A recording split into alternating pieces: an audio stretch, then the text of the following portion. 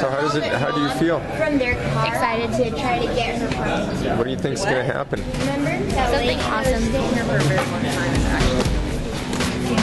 Are you a little bit nervous?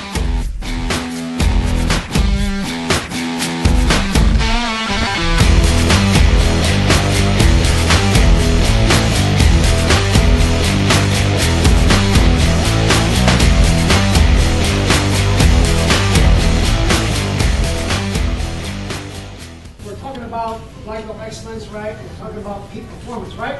What does, what does peak performance mean?